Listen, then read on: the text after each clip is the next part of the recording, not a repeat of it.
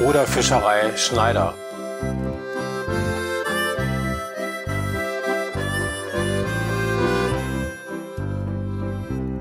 Wenn die Nebelschwaden übers Wasser ziehen, sieht man sie am Morgen zu den Kähnen gehen. Es erschallt ein Ruf, ein Klang, Vögel grüßen mit Gesang. Und die Fischer hoffen auf einen guten Fang.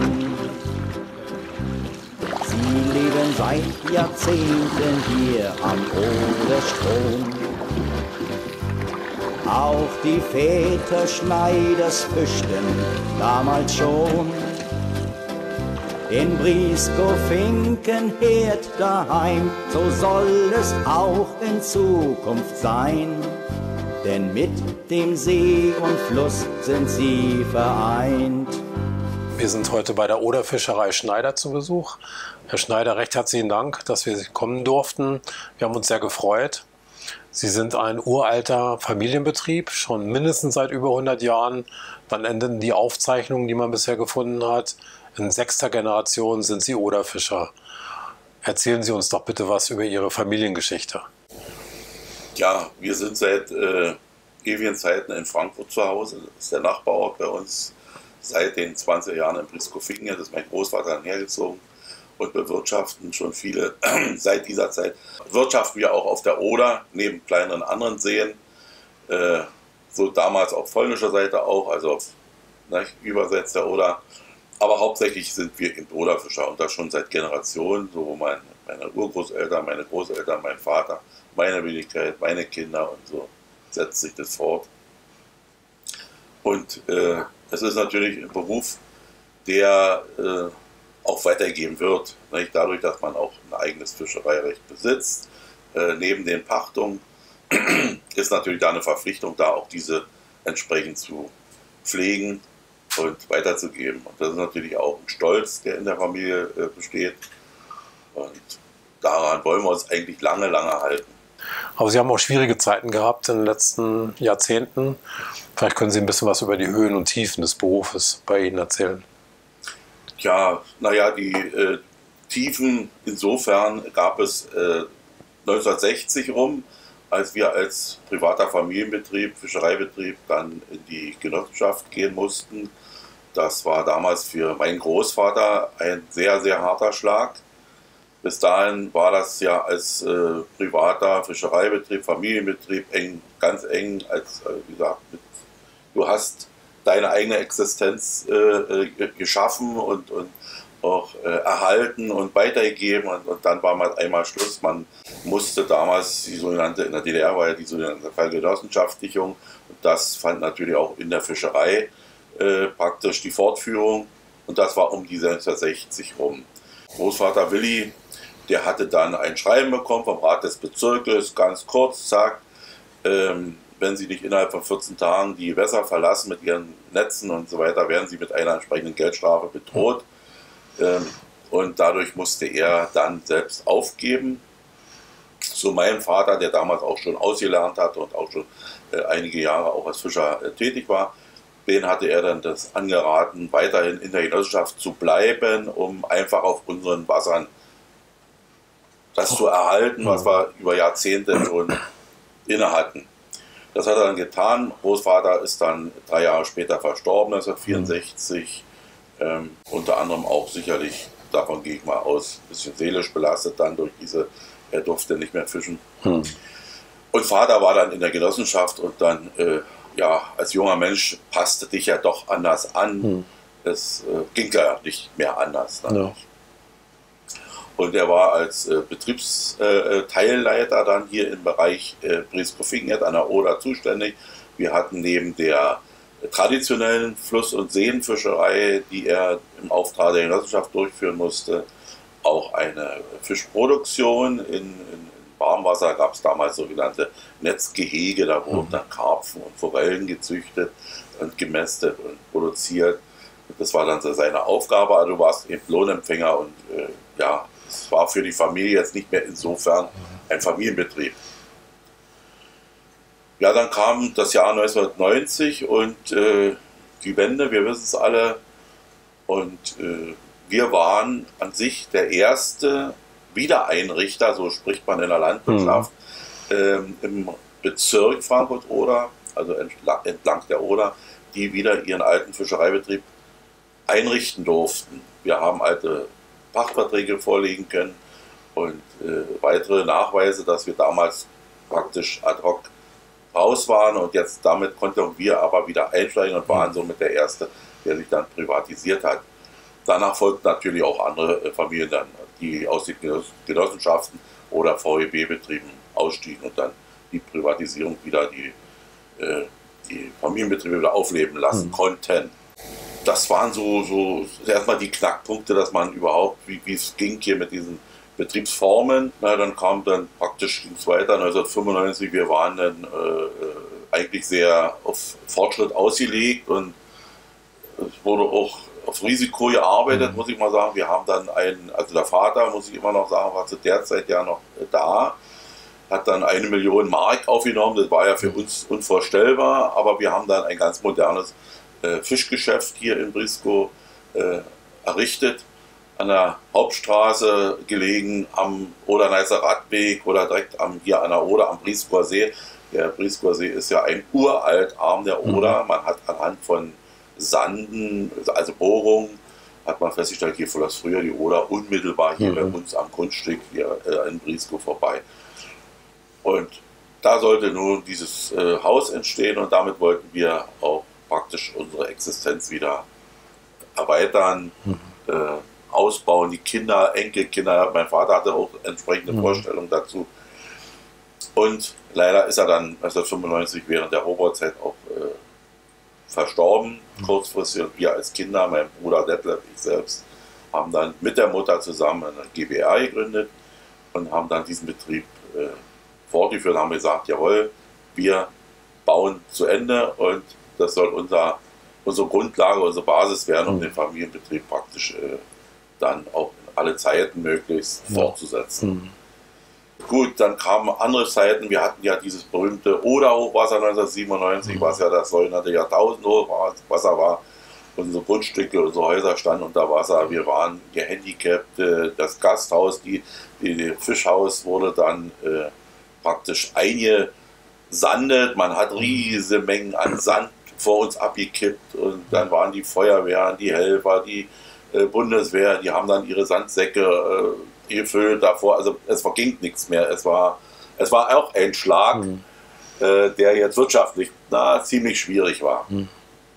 Dank, dass es äh, äh diese Spendenflut, die damals für diesen Osten, für diesen äußersten Osten hier sehr, sehr groß war, mhm. sind natürlich auch die Menschen wieder, sagen wir, in ihren Stand reingebracht worden, mhm. konnten wieder konnten ihre Häuser wieder errichten, konnten die Betriebe wieder ja. äh, äh aufbauen. aufbauen, äh, wieder in den Stand bringen. Nicht? Äh, und so weiter. Und das muss ich mal sagen, also wenn das nicht gewesen wäre, hm. dann gäbe es uns nicht mehr. Hm. Also als solchen Fischereibetrieb gäbe es dann nicht mehr. Das war, das war auch ein sehr einschneidendes Ergebnis. Kleinere Hindernisse waren dann noch der Straßenbau vor unserer Tür, äh, vor unserem Gasthaus, vor unserer Geschäftsstelle. Dann, äh, wie gesagt, ja, dann kam der Euro dazu, hm. nicht, wissen wir ja alle, die war ein bisschen schwierig gewesen, die ganze Umstellung. Und zuletzt praktisch auch die äh, Umgehungsstraße, die wir hier in, dem, in unserem Ort äh, bekommen haben. Wir leben alle sicherlich jetzt schön ruhig und können hm. schlafen, aber für die Geschäftsleute ist sowas eigentlich tödlich. Aber dem haben wir getrotzt. Wir haben andere Wege jetzt gesucht. Mein Sohn hat mittlerweile den Betrieb übernommen und der hat so seine entsprechenden besonderen guten Vorstellung, muss ich mal sagen. Da muss ich gut ziehen. Und ich hoffe, dass es so auch weiterläuft. Die Oder ruft zu jeder Zeit, ob Sonne scheint oder ob es stürmt und schneit. Die Oder ruft tagtäglich neu und ihre Fischer bleiben ihr auch weiter treu.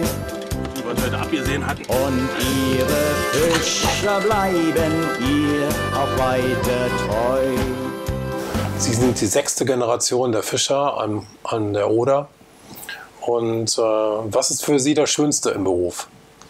Ja, das Schönste ist einfach äh, der klassische Spruch, treu seiner Natur zu sein, äh, aber auch sein freier, sein eigener Mann zu sein. Das ist einfach so die, die Geschichte. Äh, ich kann auf dem Wasser so sein, wie ich das möchte und äh, auf dem Kahn mit dem Wasser, mit meinem Bruder zusammen meistens unterwegs und es ist einfach herrlich. Es ist schön bei jeder Jahreszeit. Wenn die Abendsonne langsam untergeht und kein Wind mehr über Schilf und Weiden weht,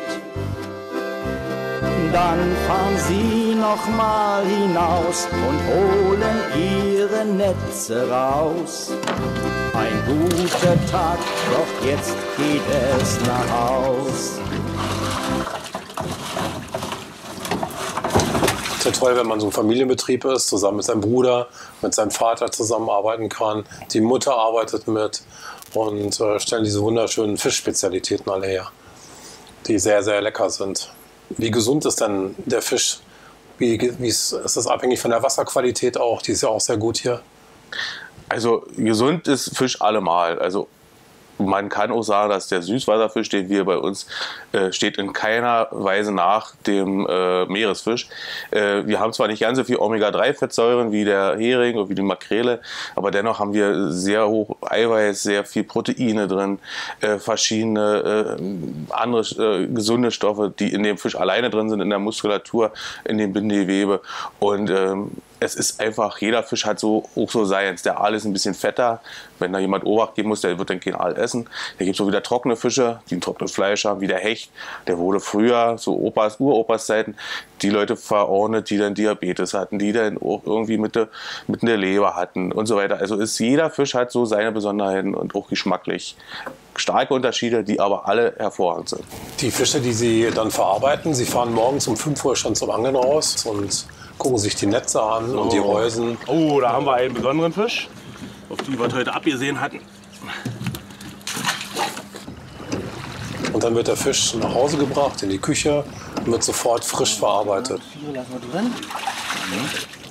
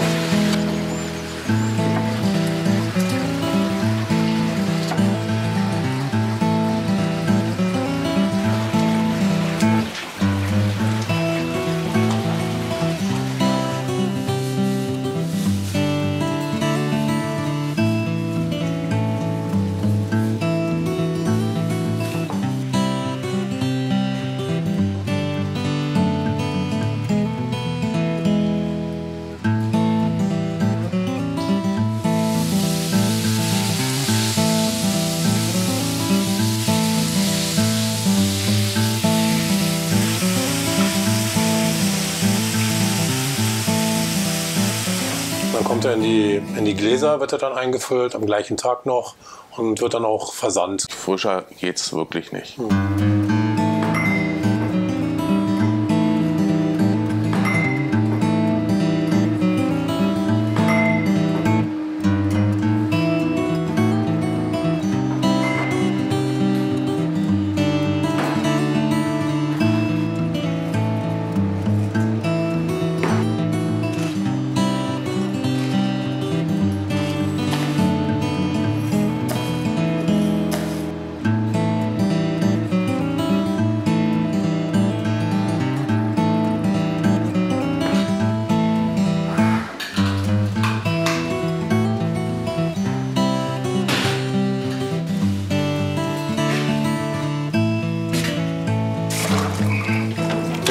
die, diese Fische, die Sie verarbeiten, die könnte die Industrie gar nicht verarbeiten, weil es sehr viel Handarbeit äh, beinhaltet und die kann man gar nicht maschinell leisten. Das ist richtig, weil einfach die Fischarten, die wir hauptsächlich verarbeiten, sind, ich sag mal, die ganzen Weißfisch, Weißfische, da fällt die Plötze drunter, der, der Blei, dann der Döbel, der Alat, die haben wirklich alle sehr viele Gräten.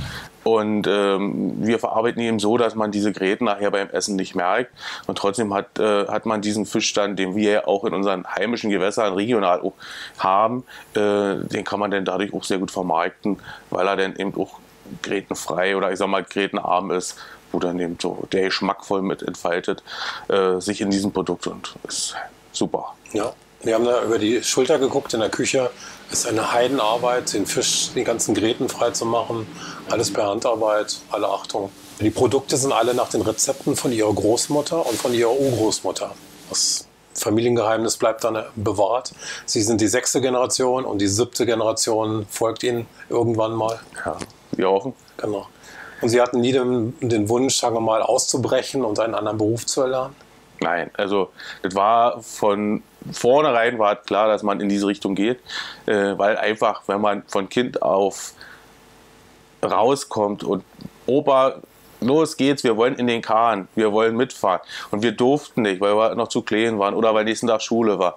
Das war für uns immer ein Ärgernis. Mhm. Und wenn man damit hineinwächst und man merkt auch, äh, wie viel Liebe da auch von den Altvorderen da schon reingesteckt worden ist, äh, kriegt man es automatisch mit ins Blut. Nicht? Es gab mal eine Situation, wo, wo ich 16 war, da wäre ich auch zur Wasserschutzpolizei gegangen, Hauptsache mit Wasser, aber die Fischerei hat mich dann trotzdem, äh, das war, das war super.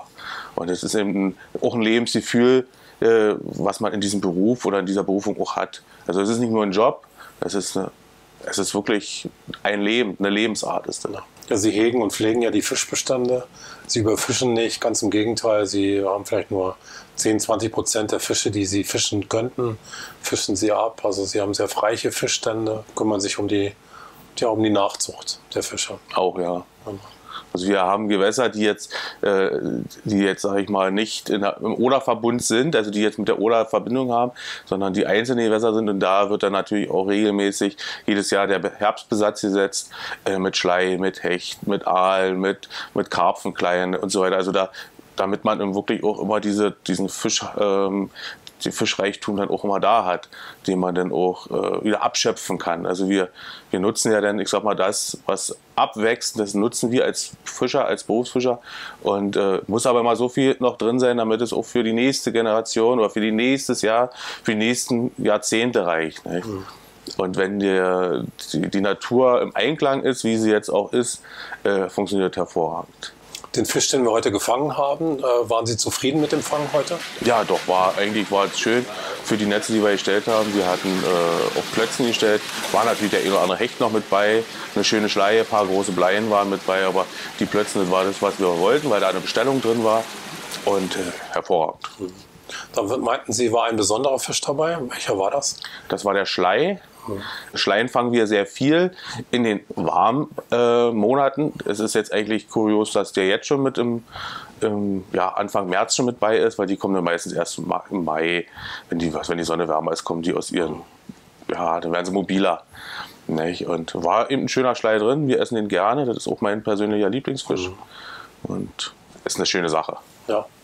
Merken Sie schon, dass es wärmer wird? Das also, das ist ein äh, guter äh, Stichpunkt. Äh, wir merken es. Die letzten zwei Jahre waren extrem heiß. Wir haben extremes Niedrigwasser auf der Oder gehabt. Man konnte teilweise durchlaufen durch die Oder. Also Schenkel Knie, Schenkel, da stand man mitten im Strom. Und das ist dann schon beängstigend, äh, wo dann mal die Reise hingeht. Ob das jetzt, sag ich mal, nur vielleicht doch wie vor ein paar Jahren, oder wie immer mal war, so eine kleine, so ein paar Jahre, wo der mal so trocken ist. Vielleicht, wir hoffen ja, dass es wieder mal ein bisschen mehr Wasser auch das ganze Jahr über ist. Weil einfach der Fisch, ähm, der geht dann zurück in den, in die, direkt in die Oder. In, den, in das ist ja nachher bloß noch ein Fließ und flach, warm, haben alle ein bisschen Stress. Sauerstoffarmut herrscht nicht, das ist schon mal sehr gut. Mhm. Ähm, aber eben dann, ja, die haben nicht mehr so viel Nahrung zur Auswahl. Der Raubfisch schon, der geht dann auf die Kleinen, aber eben das fehlen so die Überflutungsflächen. Mhm. Und da müssen wir gucken, wie die Reise hingeht, wo es hingeht. Ähm, wir sind aber frohen Mutes, wir müssen uns auch anpassen, äh, flexibel anpassen und das schaffen wir, das machen wir und funktioniert. Jeder, der mit der Natur zu tun hat, der muss sich anpassen. Wir Menschen dürfen nicht alles regulieren und machen, sondern wir müssen uns auch mal anpassen. Wenn die Natur sagt, jetzt ist es mal so, dann habt ihr, ihr Menschen, jetzt müsst ihr mal auf mich Obacht geben. Und das ist ja momentan auch so. Ja. Wenn einer unserer Zuschauer vorhat, Fischer zu werden, was würden Sie ihm raten? Ja, also äh, immer ran. Wir brauchen junge Leute, wie jeder andere äh, Gewerk in, in, in grünen Berufen. Ähm, ist ein schwerer Beruf, muss man einfach sagen. Es ist nicht nur schön, so wie bei uns ist, es ist auch schwer. Das heißt, Winter, wenn Eis oben ist, dann muss man ins kalte Wasser, dann muss man die Netze greifen, dann muss man die Fische schlachten, dann muss man die Fische ähm, mengenmäßig, dann ist es kalt, dann ist manchmal zu warm, dann geht die Hose kaputt, dann steht man im Wasser, man fällt ins Wasser. Aber am Tagesende, wenn man was geschafft hat, dann ist alles wieder super. Und äh, gerade so die Lehrlinge, die so das erste halbe Jahr da sind, die haben dann diese Probleme. Aber dann, wenn sie es eh mal durchgeschafft haben und wissen, wie der Hase läuft, dann wollen die nichts mehr anderes machen. Arbeiten Sie viel mit anderen Fischern auch zusammen? Ja, auf jeden Fall. Ja, tauschen sich aus. Richtig. Also viele holen bei uns Laichfische äh, für, die, für die Teiche, zum Beispiel Zander, Hecht und so, weil wir viel Wildfisch haben, wo dann auch neue ich sag mal, der Genpool ist ja wieder was Neues. wenn du als Züchter immer mit den gleichen Genpool arbeitest, irgendwann ist das ja erschöpft. Da arbeiten wir viel zusammen und dann haben wir auch Fischereikollegen, die für uns auch produzieren, äh, gerade in der Richtung Karpfen, äh, was nachher zu Weihnachten, Silvester immer ein sehr großer Renner ist. Und so arbeiten wir hervorragend zusammen. Ja, und Sie arbeiten auch mit der Wissenschaft zusammen. Die Wissenschaft ist ja bemüht, neue Fisch- oder die alten Fischsorten wieder anzusiedeln, zum Beispiel im Stör. Genau. Das ist auch eine sehr hervorragende Geschichte, dass dieser, die Wiederansiedlung des Störs bei uns äh, vor, ich glaube, vor zehn Jahren äh, hat es angefangen, dass die Jungstöre ausgesetzt werden. Und wenn die wandern dann, äh, die wandern dann in, durch die Oder ins Haff, in die baltischen Staaten, in die Ostsee. Und wenn die dann geschlechtsreif sind und wieder zum Leichen nach Hause kommen, sagt man, ähnlich wie beim Lachs, kommen die dann wieder in das Süßwasser rein. Und da, wo die ausgesetzt werden, suchen die sich dann die Laichplätze. Und ähm, die Störart, die wir jetzt haben, die wird so zwischen 12 und 14 Jahren die geschlechtsreif und dann hoffen wir, dass in den nächsten Jahren die ersten zurückkommen. Klasse. Mhm. Ähm, die sind alle markiert, mhm. die haben alle eine kleine äh, Plakette dran mit einer Nummer, mit einer Zahl. Ähm, und ein Teil wurde auch besendet. Also da sind dann die Forscher mitgefahren. Dadurch konnten sie sehen, dass innerhalb von acht bis zehn Tagen die Störe von unserer Höhe von der Oder in der Ostsee waren. Also das ging relativ zackig. Und wenn die zurückkommen, dürfen wir die nicht fangen. Mhm. Also wenn sie mal reingehen, dann wird, wie gesagt, protokolliert, dann werden die wieder zurückgesetzt. Äh, die müssen sich erst jahrzehntelang wieder erholen. Und das ist aber schön so, dass das eben Klasse. wieder, ich sag mal, auch von der staatlichen Seite oder von der wissenschaftlichen Seite mhm. ja, wieder versucht wird, dahingehend diesen Fisch, diesen uralten Fisch äh, wieder heimisch zu machen. Mhm. Werden noch andere Fischsorten wieder versucht heimisch zu machen? Also es, die, die, die Fischarten, die jetzt wieder zurückkommen durch die äh, Klarheit des Wassers, durch die Sauberkeit und so weiter, sind alles meistens äh, Kleinstfische, kleine Fische, die jetzt äh, für uns keinen wirtschaftlichen Wert haben, für die Wissenschaft schon. Äh, wir kriegen dann auch mal jährliche Auswertungen, wenn auf der Oder wissenschaftliche Fänge gemacht werden. Da wissen wir, wie Modalisi, wie viele ähm, Gründlinge und so weiter. Dann haben wir wieder mal wissen, okay, das wird ist wieder hervorragend. Äh, aber so direkt selber, neue Fischarten werden ja nicht ausgesetzt.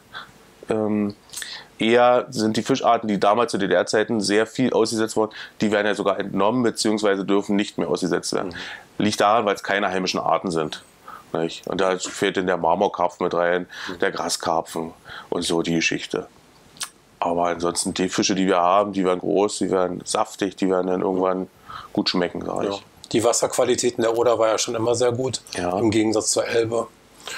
Und das war immer sehr klar, aber jetzt ist es noch klarer geworden, das Wasser. Das liegt eben daran, weil die landwirtschaftlichen äh, zu DDR-Zeiten waren eben sehr viel Landwirtschaft, da ging es dann auch ungefiltert äh, rein. Dadurch wurden natürlich dann im Wasser Phytozooplankton angeregt, das war zum Wachstum, deswegen war es trüb.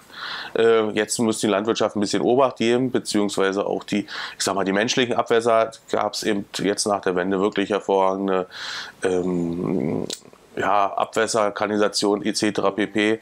Äh, wird mehr herausgefiltert, was früher auch, ich sag mal, rein konnte, wo denn das auch diese, diese Wasseralgen gewachsen sind dadurch. Mhm. Dadurch war es trüb.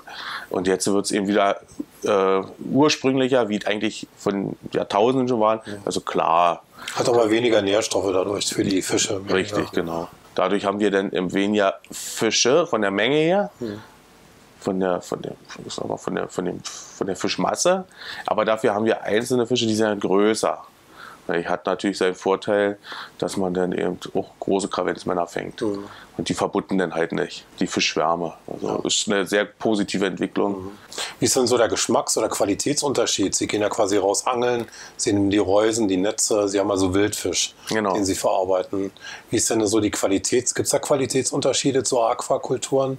Also es gibt, ähm, ich sag mal zum Beispiel jetzt, äh, man könnte jetzt am Beispiel vom Karpfen nehmen. Wenn wir da jetzt äh, die Zuchtkarpfen nehmen, die werden ja mit Weizen, mit Roggen gefüttert, äh, auch auf Naturbasis und die haben dann so ein mehr weiches, feines und, und so fettiges Fleisch. Haben wir aber einen Wildkarpfen, der jetzt, sag ich mal, von klein auf im Wildgewässer ist, der hat äh, weniger Fettanteile, der hat rötliches, dunkles Fleisch. Das liegt daran, weil die Muskulatur eben, äh, ja, mehr arbeitet, weil er im Fluss mehr schwimmen muss. Im Teich sitzt er da wie ihn auf der Couch. Mhm. Nicht? Und das merkt man schon. Also man hat dann, äh, der Geschmack ist ausgereifter. Mhm. Schmeckt beides sehr gut, muss man sagen, aber eben man merkt die Unterschiede. Aber das ist eben für uns Fischer eben wichtig, diesen Wert, den wir regional vor der Haustür haben, auch abzuschöpfen. Das ist ja eigentlich so diese, äh, was ja, der Fischer ist ja der älteste Beruf mit, mhm. von ja, Tausenden. Fische wurden schon immer gefangen. Ja. Und, äh, ist als Protein- und Nahrungslieferant eben Nummer, Nummer eins. Wie groß sind denn so die größten Fische, die Sie gefangen haben und sind die noch schmackhaft? Ja, also der, der längste Fisch, den wir je gefangen haben, das war 1993, das war mein Opa noch. Die haben einen großen Wels bei uns vor der Haustür gefangen. Der war 2,45 Meter äh, lang und war 73 Kilo schwer. Dann haben wir verschiedene Marmorkarpfen, das sind so die Planktonfresser, die noch aus DDR-Zeiten noch bei uns rumschwimmen. Die können so bis zu 80 Pfund werden, also um die 40 Kilo. Äh, richtig große, stramme Jungs. Dann große Aale fangen wir, armdicke Aale. Äh, ist zwar eine Seltenheit geworden, aber die fangen wir immer noch. Und äh, Zander, so Meter, Meter zehn, auch so um die 5, 6, 7, 8 Kilo. Äh, große Hechte. Äh, selbst Schleie bis zu 3 Kilo. Schleie, also der Angler weiß das, Mensch, ja, so anderthalb Kilo haben wir alle schon mal gehört, aber bis zu drei Kilo, das sind so die, die Fänge. Und auf die Frage, ob man die noch essen kann, äh, die, wie hält dann die nach dem Fang dann immer noch, die großen, weil die doch dann, ich sag mal, sehr fett angesetzt haben und dann tun wir die noch mal eine Weile hältern und dann werden die geschlachtet. Äh, ist wie bei einem guten Stück Fleisch, umso älter die werden, umso äh, sind zwar etwas trockener und bissfester, aber die haben einen, einen eigenen Geschmack, einen kräftigen Geschmack und äh, schmeckt natürlich hervorragend. Was bedeutet hältern? Hältern heißt, ähm, wir nehmen den Fisch aus dem Wasser und dann tun wir den immer noch so zwei, drei Tage lang bei uns im Schlaubewasser äh, zwischenhältern. Das heißt, dass er einfach nochmal den Futtergeschmack, den er von, vom Fressen nochmal drin oder die verdauen den Fisch nochmal. Und äh, ähnlich wie wir es heute gemacht haben, da ist nämlich das, läuft das frische Schlaubewasser rein und mhm. dann werden die eben nochmal ein bisschen gehältert. Die Oder ruft zu jeder Zeit, ob Sonne scheint oder ob es stürmt und schneit. Die Oder ruft tagtäglich neu und ihre Fischer bleiben ihr auch weiter treu. Und ihre Fischer bleiben ihr auch weiter treu. Die Binnenfischerei, die wir jetzt momentan haben, wird ein bisschen ja, zurückgedrängt äh, durch Meeresfisch und durch andere äh, Länder, wie zum Beispiel aus Asien, aus Afrika kommt viel Fisch rein. Ähm, aber ich glaube, da sind wir auf einem guten Stand, dass die Leute auch wieder besinnen, äh, regional äh, auch eine gute Forelle aus der Zucht mhm. regional beim Fischer zu holen oder einen Karpfen oder mal einen Wels, mhm. einen Hecht. Also das geht wieder aufwärts. Ja, na, hier wissen Sie ja, was die Fische essen und die bekommen keine Antibiotika oder sonst irgendwas. Das ist richtig. So reines Naturprodukt. Genau. genau. Also in Deutschland kriegen sowieso äh, die Zuchtfische kein Antibiotika. Also das mhm. ist immer, das ist alles aus, was aus Asien und sowas kommt. Ja. Mhm. Weil da das ist einfach bei der Menge, muss das eingesetzt werden, sonst verdienen die kein Geld. Also sonst schaffen sie das eben nicht. Ja. Und das brauchen wir als bei den Naturfischen ökologisch, die wir fangen, ist beste. Wo kann man Ihre Produkte denn finden? Also Tradition hat ja noch den Internetshop noch nicht online, aber in Kürze. Wo kann man denn Ihre Produkte jetzt kaufen? Wo findet man sie? Also zuallererst in Brisco-Finkenhirt bei uns, direkt in der Fischerei. Wir haben immer donnerstags offen, äh, zwischen 9 und 16 Uhr. Ähm, da wird dann frische Räucherfisch, Frischfisch etc. und natürlich unsere Fischspezialitäten angeboten. Des Weiteren sind wir noch in Frankfurt-Oder auf dem Wochenmarkt, immer Donnerstag, Freitag. Und ansonsten sind wir viel in Berlin und äh, ich sag mal in Brandenburg weit unterwegs, um äh, auf Messen, wie zum Beispiel die Brala, die Brandenburgische Landwirtschaftsausstellung, die jetzt wieder im Anfang Mai ist. Vier Tage, dort sind wir wieder vertreten. Grüne Woche ist mal ein Highlight für uns. Zehn Tage im Januar, dort sind wir auch vertreten. Und äh, viele unserer Produkte ähm, an Mann zu bringen und dann natürlich die Leute auch darüber aufzuklären, was ist nun der Unterschied zwischen äh, so ein Fisch und so ein Fisch. Und Ja. Fisch ist generell erstmal gut, ist gesund, aber eben, warum sagt er, warum soll ich das jetzt bei euch essen? Und dann geht's los, weil eben da mit Liebe mit drin ist, da ist Handarbeit, wir sind äh, Handarbeit. Ja, und ja, das sind erstmal so die Schichten. Was können die Leute denn erleben, wenn sie herkommen und bei Ihnen Urlaub zu machen in ihrer Ferienwohnung oder in der Umgebung? Was können sie machen? Also die sind ja hier, äh, die Oder ist am fünftbeliebtesten Radweg Deutschland. Das nennt sich der Oder-Neiße Radweg. Wir haben dort Gäste, die kommen aus Frankreich, aus Bayern, aus Schweiz. Selbst Engländer sind hier schon vorbeigeradelt, kommen direkt bei uns an der Fischerei vorbei, haben bei uns geschlafen. Dann das nächste Highlight ist zum Beispiel, wenn man sich mit Kanus äh, oberhalb man kann auch nach Polen reinfahren, sich dort ähm, reinsetzt und dann eine mehrtägige Kanutour macht, bis runter ins Haff oder irgendwo sich. Es ist einfach nur Ruhe, weil die Oder hat wenig Schifffahrtsverkehr, äh, wenig große Schifffahrt, liegt auch daran, weil es vielmals äh, der Wassermangel da ist, dass große Fische nicht fahren können, aber für Kanus und für kleine Sportboote hervorragend. Und dann ist es auch so, dass man rechts und links, beide Seiten, ob in Polen oder Deutschland, man hat diese Auenwälder. Die, diese Auenwälder sind unbeschreiblich schön. Das sind meistens große Eichen, die stehen auch, wenn es Hochwasser ist, alle im, im Wasser drin. Und da entwickelt sich natürlich eine, eigen, äh, eine wunderschöne eigene Fauna. Es ist einfach nur schön. Und man hat eben Ruhe. Man kann überall anlegen oder mit dem Fahrrad anhalten, ohne dass man irgendwie Autoverkehr hat, ohne dass man irgendwie zu viel Menschen auch Auflauf hat. Das ist einfach, die Oder hat den Reiz. Also eines der faszinierendsten Flüsse in Mitteleuropa. Und Sie sind immer noch verliebt in die Oder. Auf jeden Fall. Die Oder ist äh, ja nicht nur unser Hausgewässer, sondern einfach eine Lebensader. Und ihre Fischer bleiben ihr auch weiter treu. Und ihre Fischer bleiben ihr auch weiter treu. Was passiert denn so, wenn Fischer sich untereinander treffen? Oh ja, was passiert da so? Natürlich wird äh, Köhm genommen, also wir trinken gerne mal ein Schnäpschen, ein Bierchen, aber natürlich sprechen wir auch über unsere äh, Betriebe, unsere Erfahrungen, unsere Fischerei, was wir so gefangen haben. Da kommt, da kommt mir gerade da so, so eine Episode da ins Sinn. Wir hatten einen Kollegen, der war auch mit integriert und der hat immer sehr, sehr angegeben, dass er eben Riesenfische fängt, so runde Dinge. Also, also der, den seine Hände haben gar nicht ausgereicht. Äh, und bei irgendeinem Treffen, das liegt schon drei, vier Jahre zurück, dann haben wir die anderen dann mit uns, äh, wir haben dann denen einfach mal die Hände zusammengebunden. Einfach so bei der, bei, bei der Gelage äh, zusammengebunden und konnte der da erzählen, wie er wollte. Und, und trotzdem hat er wieder losgelegt, hat gesagt, Riesenfische, Riesenfische. Äh, na, wie groß denn nun? Haben wir ein bisschen rausgefordert. Wie groß denn nun? Na, konnte er ja nicht zeigen. Dann hat er die zusammengebundenen Hände mit so ne Augen, mit so ne Augen. So, das war natürlich, da haben wir uns alle tot gelacht. ja, das war äh, so mal so ein Spaß, äh, den wir uns mal erlaubt haben. Wir treffen uns mit, äh, ja, mit Fischern aus Sachsen, äh, aus der Oberlausitz, haben wir einen guten Kollegen, Usedom, hier ein, ein, ein Achterwasserfischer, muss ich mal sagen. Äh, und so sind wir so ein paar Kollegen, die wirklich dann auch sich im Jahr eins oder zweimal treffen. Und dann gibt es natürlich viel zu erzählen. Ja. Ja, neben dem Spaß natürlich, der Ernst der Sache ist natürlich, äh, und das haben wir, meine Großeltern, meine Eltern, also meine Vorfahren, die haben alle auch äh, was gelernt, was ich immer gerne mal erzähle, dass es in jedem Fischerherz muss stehen fest wie Stein und Erz. Sei nicht nur Fischer, sei auch Jäger, zum Wohl der edlen Schuppenträger. Und ich glaube, daran halten wir uns und halten sich die guten Fischer halten sich daran. Verpassen Sie nicht die nächsten Videos von uns. Wir haben immer spannende Themen für Sie vorbereitet. Abonnieren Sie jetzt kostenlos unseren Kanal und klicken Sie die Glocke an. Dann werden Sie benachrichtigt, wenn wir ein neues Video hochgeladen haben für Sie. Wir freuen uns auf Sie.